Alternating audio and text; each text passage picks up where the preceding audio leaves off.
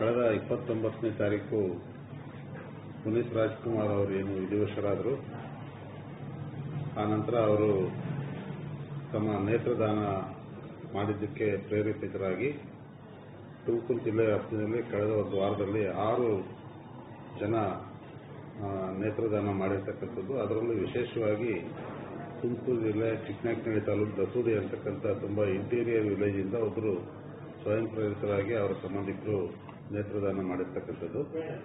ಹಾಗೆ ಸುಮಾರು ಐವತ್ತಕ್ಕೂ ಹೆಚ್ಚು ಜನ ನಮಗೆ ನೇತ್ರದಾನ ಮಾಡ್ತೀವಿ ಅಂತ ಹೇಳಿಬಿಟ್ಟು ಸಂಕಲ್ಪ ಮಾಡಿಬಿಟ್ಟು ಐದು ಪ್ಲೇಟ್ ಜನ ಮಾಡಿರ್ತಾರೆ. ಅಂದರೆ ವಾಗ್ದಾನ ಮಾಡಿರ್ತಾರೆ. ಅವರ ಮರಣ ನಂತರ ಕಣ್ಣನ್ನು ಕೊಡ್ತೀವಿ ಅಂತ. ಇದೊಂದು ಆಶಾದಾಯಕವಾದಂಥ ಬೆಳವಣಿಗೆ ಆಗಿರುತ್ತೆ.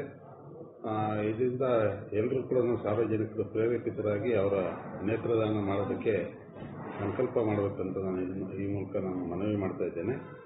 ಈ ನೇತ್ರದಾನದ ಬಗ್ಗೆ ಎಲ್ಲ ತಾಲೂಕು ಆಸ್ಪತ್ರೆಗಳಲ್ಲಿ ಅದರ ಒಂದು ಫಾರಂ ಸಿಗುತ್ತೆ. ಆ ಅರ್ಜಿಯನ್ನು ನಮೂನೆಯನ್ನು ತುಂಬಿ ನಮ್ಮ ತಾಲೂಕು ಆಸ್ಪತ್ರೆಗಳಲ್ಲಿ ಕೊಟ್ಟರೆ ಅವ್ರಿಗೆ ಒಂದು ಕಾರ್ಡ್ ಕೊಡ್ತೀವಿ.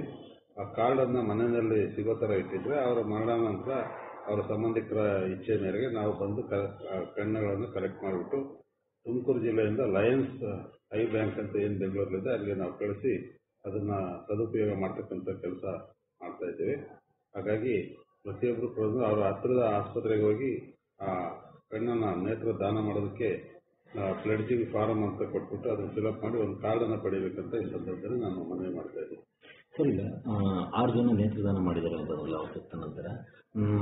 ಈಗ ಈ ಹಿಂದೆ ಟ್ವೆಂಟಿ ನೈನ್ತ್ ಬಿಫೋರ್ ಅಥವಾ ಕಳೆದ ವರ್ಷ ಯಾವ ರೀತಿ ಇತ್ತು ರೇಷಿಯೋ ಬರ್ತಾ ಇತ್ತು ನಮಗೆ ತಿಂಗಳಲ್ಲಿ ಎರಡು ಮೂರು ಆ ಥರ ಬರ್ತಾ ಇತ್ತು. ತೀರಾ ಎಜುಕೇಟೆಡ್ ಪೀಪಲ್ ಆಗಿರ್ಬೋದು ಅಥವಾ ತುಂಬ ಸಿಟಿನಲ್ಲಿ ಇರುವಂತ ಜನ ಯೂಶಲಿ ನಮಗೆ ನೇತ್ರದಾನ ಮಾಡ್ತಾ ಇದ್ರು. ಈಗ ಹಳ್ಳಿಯಿಂದಲೂ ಕೂಡ ನಮಗೆ ಕರೆಗಳು ಬರ್ತಾ ಇದೆ. ನಮ್ಮ ಎಲ್ಲ ತಾಲೂಕಲ್ಲೂ ಕೂಡ ನಮ್ಮ ನೇತ್ರ ತಜ್ಞರಿದ್ದಾರೆ ಟೀಮ್ ಇದೆ. ನಾವೆಲ್ಲ ವೆಲ್ ಎಕ್ವಿಪ್ಡ್ ಇದ್ದೀವಿ. ಇದು ಅವ್ರು ಕರೆ ಮಾಡಿ ವಿತಿನ್ ಸಿಕ್ಸ್ ಅವರ್ಸ್ ನಮ್ಮವ್ರು ಹೋಗಿ ಮರಣಾನಂತರ ಮರಣ ನಂತರ ವಿತಿನ್ ಸಿಕ್ಸ್ ಅವರ್ಸಲ್ಲಿ ನಾವು ಹೋಗಿ ಕಣ್ಣನ್ನು ತೆಗೆದುಕೊಂಡು ಬಂದು ಬೆಂಗಳೂರಿಗೆ ಸುಸಜ್ಜಿತ ರೀತಿಯಲ್ಲಿ ಟ್ರಾನ್ಸ್ಪೋರ್ಟ್ ಮಾಡುವಂಥ ವ್ಯವಸ್ಥೆ ಇದೆ. ಈಗ ಮತ್ತೆ ಈಗ ಈಗೇನು ಈಗ ಆಂದೋಲನ ರೀತಿಯಲ್ಲಿ ಏನು ಜನ ಜಾಗೃತಿ ಆಗಿದೆ, ಅದಕ್ಕೂ ಕೂಡ ನಾವು ಸಿದ್ಧವಾಗಿದ್ದೀವಿ.